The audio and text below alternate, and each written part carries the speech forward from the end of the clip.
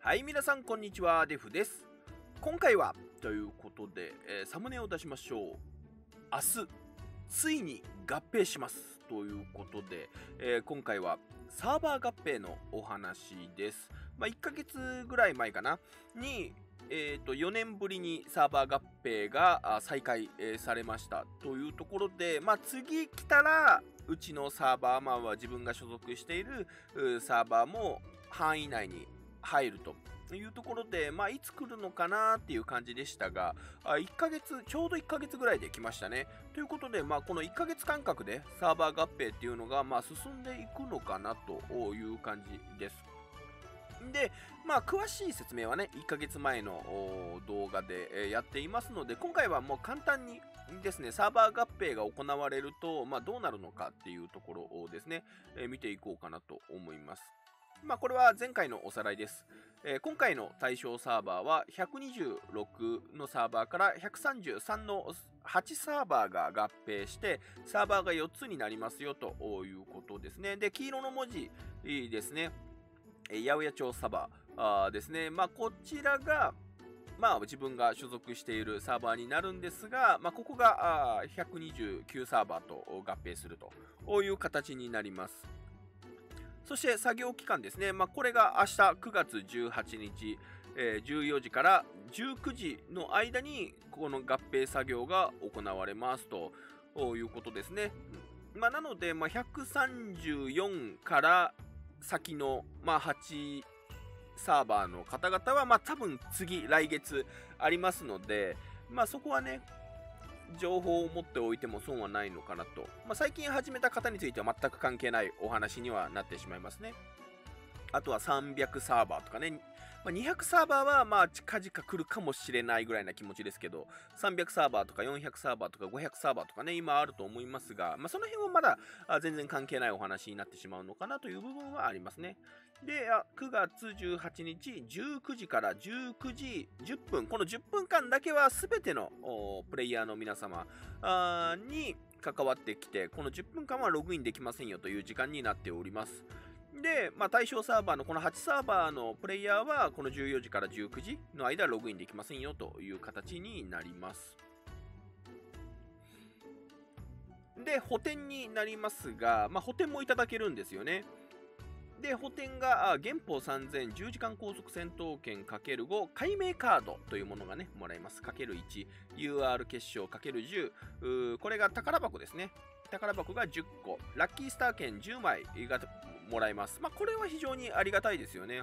うん、まあ、サーバー合併ね、別に運営さんが何かミスったわけでもないのに、まあ、補填いただけるっていうところで、これは非常にありがたいかなと。また、まあ、ログインができない時間があるよっていうことなのかな。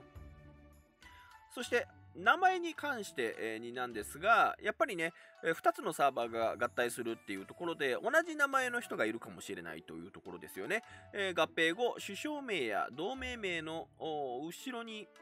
サーバー ID が追加されます。まあ、まあ、自分のサーバーで言うと128サーバーですので、まあ、あまあ、デフ、カッコ、あえー S みたいな感じかな ?S128 だったかな？あっていう形で、えー、カッコ内でサーバー ID がつきます。で、まあ、それを解明するために、この解明カードというものが補填に含まれておりますよという形です。まあ、無料でね、解明1回はできますよと。このサーバー ID を取ることができますよという形です。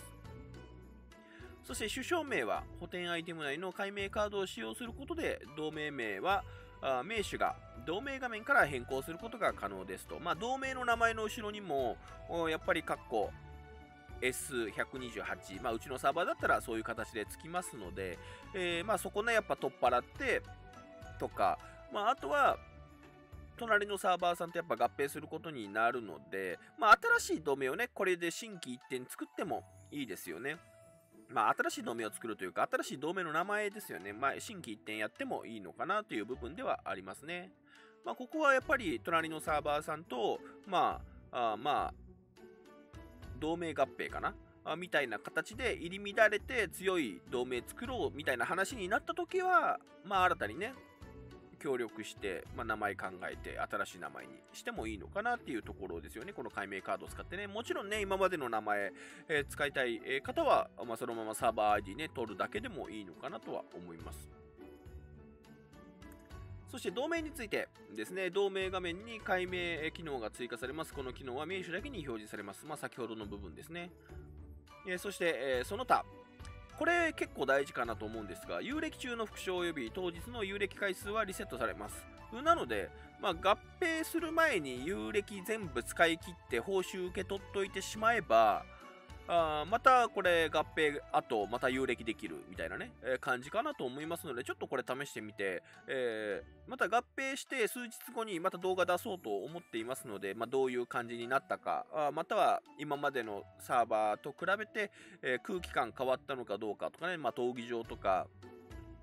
2サーバー分になってどうなったかとかね、まあ、そういうのいろいろお話ししていこうかなと後ほどね思いますので、まあ、その時にまあここも触れていこうかなと思います。そして合併当日の同価の購入回数はリセットされます。ということで、まあ、これも有歴と同じで、えー合併する前に先に買ってしまえばまた合併を買うことが可能になりますという感じだと思います。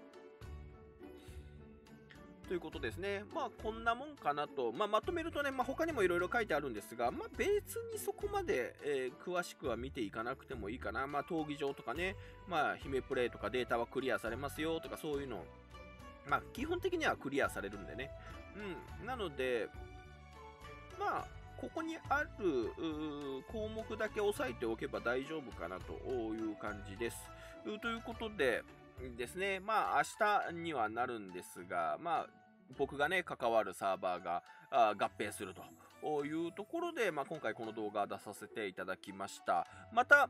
本当に数日後ですね、まあ明日はちょっとね、合併してすぐなので何が変わったかとかね、空気感どうだとかね、はそんなにわからないと思うので、まあ、1週間とかちょっと5日とか1週間とか様子見てまた動画作って合併後こんな感じだよというのをお話できたらなと思います。はい、ということで、チャンネルの登録、Twitter のフォローなどぜひよろしくお願いします。ここまでお送りしたのはデフでした。おつてー